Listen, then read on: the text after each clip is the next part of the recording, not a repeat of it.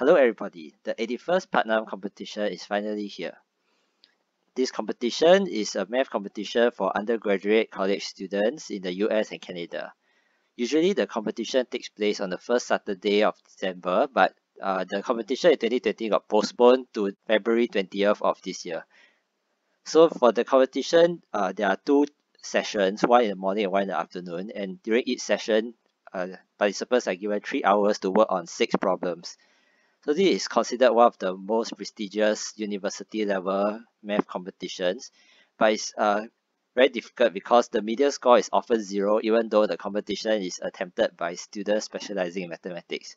So let us take a look at the most recent competition. I will be covering the first three problems uh, in this video. So without further ado, let us take a look at the first problem how many positive integers n satisfy all of the following three conditions? First, n is divisible by 2020. Second, n has at most 2020 decimal digits. And third, the decimal digits of n are a string of consecutive ones followed by a string of consecutive zeros. So basically n is of this form.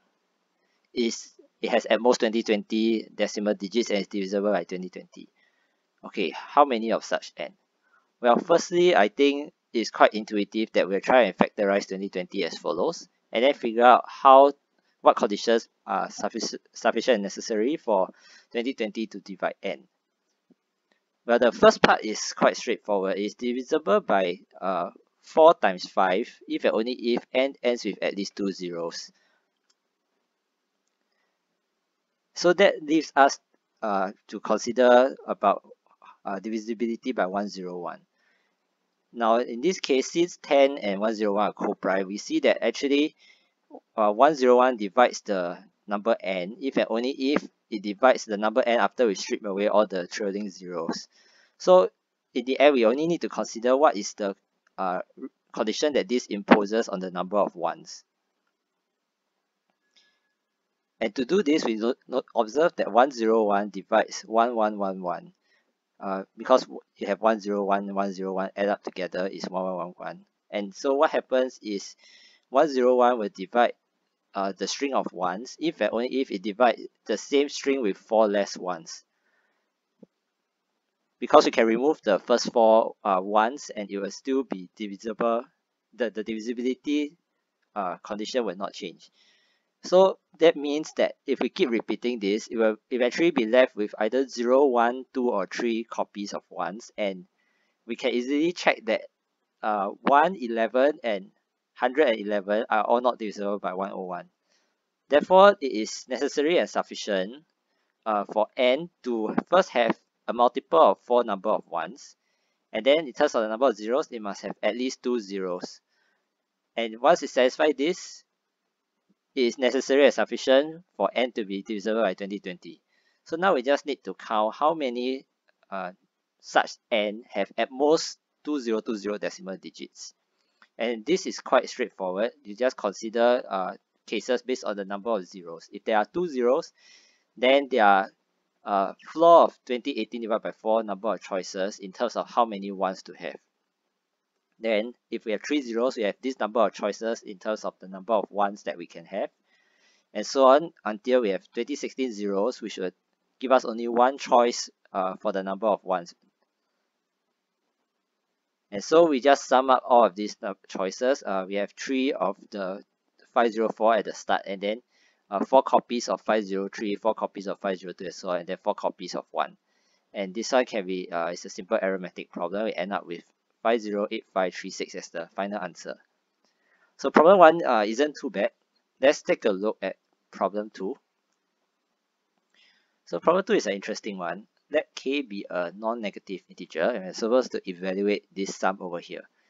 So I'll present two solutions. One is an algebraic solution which uh, under the situation of a competition you might be more inclined to come up with such a uh, such a solution and then I will also present a combinatorial solution, which is uh, more elegant, but it requires uh, more creativity. And under competition circumstances, it might be harder to come up with this solution.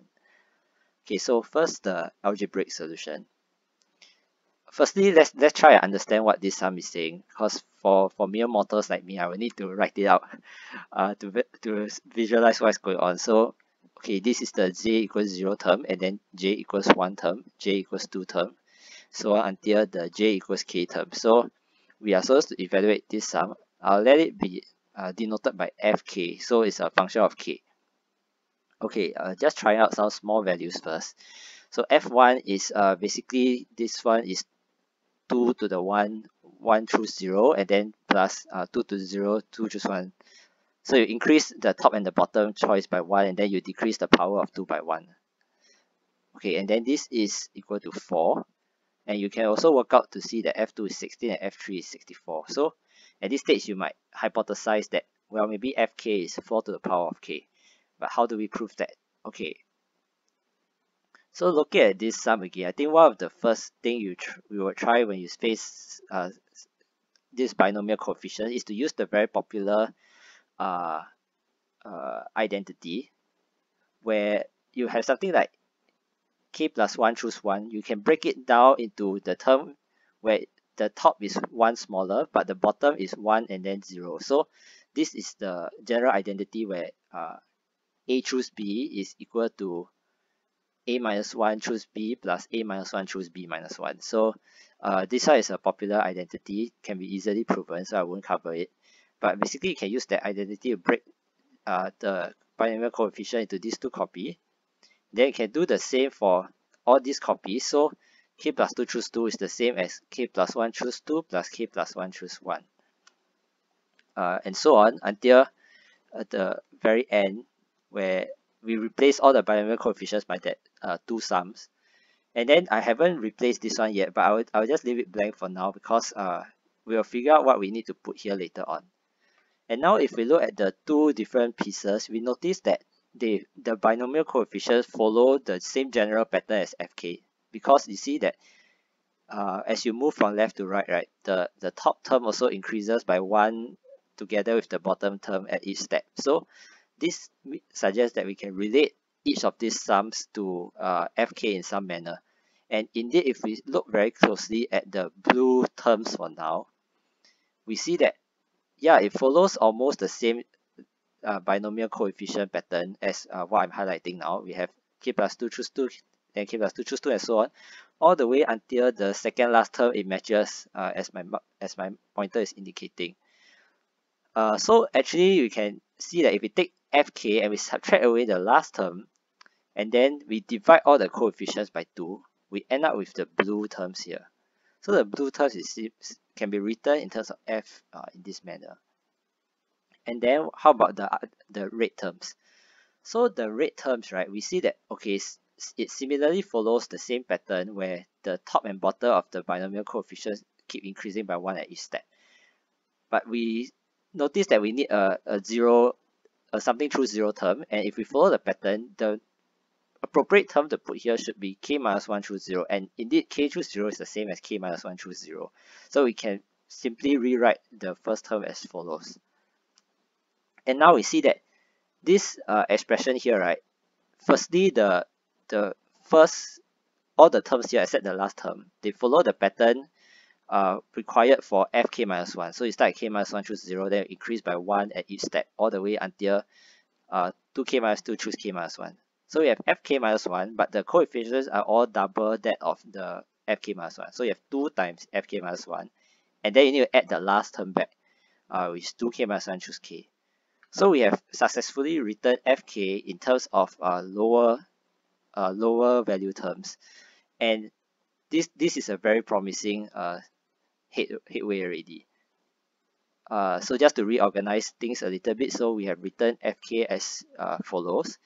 And then if we just uh, multiply by 2 and rearrange and tidy up, we will get fk equals to 4 times of fk minus 1, then plus 2 of 2k minus 1 choose k minus uh, 2k choose k. Now, because we hypothesize that fk is already 4 to the power of k, right? So this leads us to consider is this true is it true that uh, this term over here is equal to 0 and yes indeed uh, again once again we can write 2k minus 1 choose k uh, as 2k minus 1 choose k minus 1 as well. So these two are equal. So because of two copies, I, I write the two copies as this plus this. And then we use that very same combinatorial identity that we spoke, spoke about, uh, where 2k choose k is the same as reducing the top term by 1, and then the bottom term keep and reduce by 1. So indeed, uh, this expression here is equal to 0. So we prove that fk is 4 times of uh, fk minus 1. Uh, the base case f, f of 1 equals to 4. So it follows immediately that fk equals 4 to the power of k. So this is uh this this isn't very hard to uh, derive once you put in the combinatorial identity and then observe that this gives a sort of recurrence relation. So so after that uh things are quite straightforward. But now I want to present a, a very nice combinatorial solution. So maybe you have hypothesized from trying small cases that the expression we want to prove is equals to uh, 4 to the power k or the same as 2 to the power of 2k. How do we prove this? Typically, this is another common idea where we have something like this and then we will try to come up with a story of double counting to make sure that we can uh, prove the combinatorial identity. And in this case, the story is that we want to count the number of binary strings of length 2k plus 1 with at least k plus 1 copies of 1. Uh, in, others, in other words, the number of binary strings of length 2k plus 1 where there are more ones than zeros. Okay, so we count this in two ways. Firstly, we notice that the total number of binary strings of length 2k plus 1 is simply 2 to the power of 2k plus 1. And at the same time, there's a bijection between the binary strings with more zeros than ones, uh, with the set of binary strings having more ones than zeros. And this bijection is achieved by uh, simply flipping the digits 0 to 1 and 1 to 0 as we move from the left to the right. Okay, so uh, this proves that uh, these two sets are of equal cardinality, so the number of binary strings with at least k plus 1 ones is half of this, namely 2 to the power 2k. So we have already proven the right side uh, that, that the, the number of substrings is given by the right side. Now we need to prove that it's also given by the left hand side. And to do this, we count by uh, cases. So we let case number j denote the case where the position of the k plus first uh, copy of 1 is at position k plus 1 plus j. So I have uh, the binary string, right? And because there are at least k plus 1 copies of 1, I know that there is there is this thing, there is a k plus first copy of 1. And where is the leftmost place it can be? Well, the leftmost place is if everything is 1 up to uh, finally we see the k plus first uh, copy of 1. So uh, at the best case possible, we have all the ones and then the k plus first copy appear at position k plus 1. But we can also have the uh, the k plus first copy of 1 then appear uh, maybe at k plus 1 plus 1, then k plus 1 plus 2, k plus 1 plus 3, and so on until the, the very end. So this gives the different uh, cases. So the j case is the one where the k plus first copy of 1 appears at the position k plus 1 plus j, and j runs from uh, 0 to k. Okay, so how do we count this? Well, if we have the k plus first copy of 1 here, it means that to the left, namely in the k plus j positions, we must have exactly k copies of 1. So the possibilities to the left here, there are k plus j choose k possibilities. And how about to the right of that? To the right of that, anything goes because we already have k plus 1 copies of 1 so far. It doesn't matter what we do to the right. So the remaining k minus j digits, we can do anything we want. There's 2 to the power of k minus j possibilities there. And we notice that this summand is exactly the same as the summand we want uh, after adjusting that k plus j choose k is the same as k plus j choose j. So summing up all the cases, we get that the left hand side is exactly uh, the number of binary strings with the property we want. Therefore, the two sides are equal. So this is a very nice solution. Uh, it might take a bit more creative juices to come up with this, uh, but certainly not totally out of reach. Okay, that's great. Now let us look at the Next question, question A3. So let a0 equals to pi over 2 and let an equals to sine of the previous term for n at least 1. determine whether this series given here converges. So because this is an undergraduate math competition, uh, it's expected that there will be some, I mean, it's fair game that there will be some questions that uses uh, undergraduate math content. So over here, you need to know a bit about what convergence of infinite series means. Uh, but usually for the Putnam, the undergraduate content that is uh, used is not very advanced. It's uh, quite basic uh, ideas, but you need to apply them in a creative problem solving way. So this is the same for A3 here.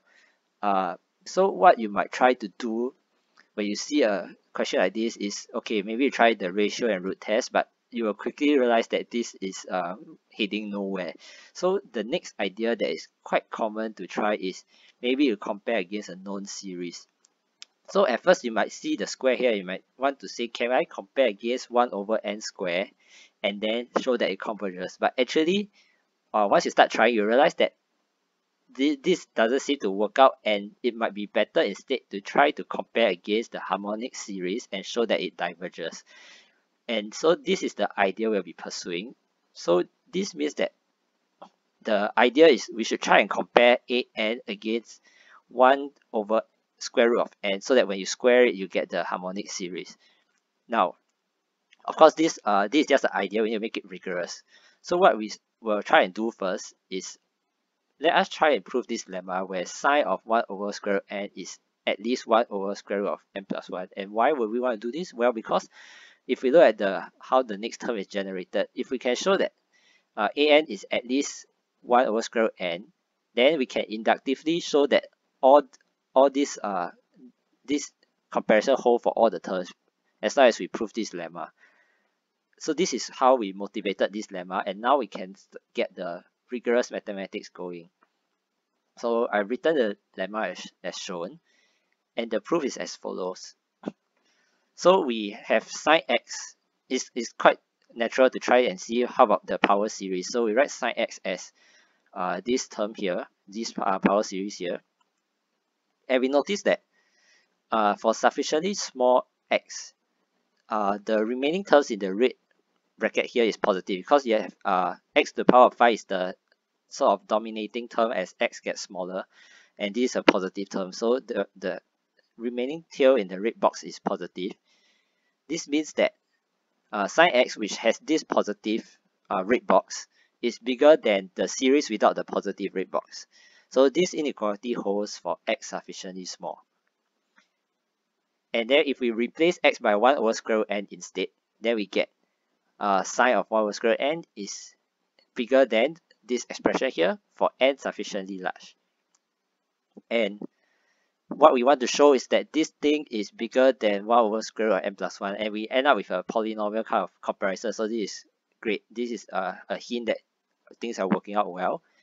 Uh, indeed, we can square both sides to get this and then we clear denominators and we get uh, the polynomial uh, inequality here.